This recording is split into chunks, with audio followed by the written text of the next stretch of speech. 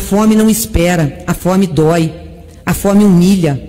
E é isso que esse governo de quinta categoria está fazendo com o Brasil. Desestruturou um programa e cortou um auxílio emergencial. Acabaram com o Bolsa Família, um programa de 18 anos, estruturadíssimo, que foi um dos responsáveis por tirar milhões de pessoas da miséria.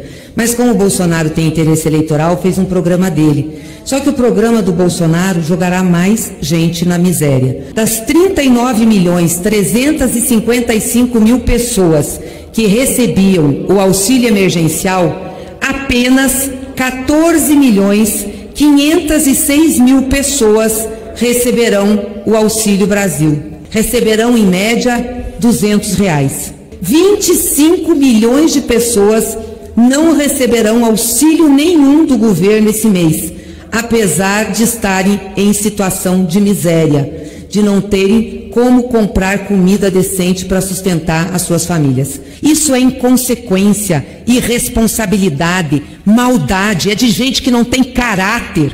E onde está Bolsonaro? No Catar, passeando de motocicleta, tirando fotografias do quarto luxuoso que custa 46 mil reais a diária. Enquanto isso, o seu povo, Bolsonaro, come osso, come pé de galinha, passa fome,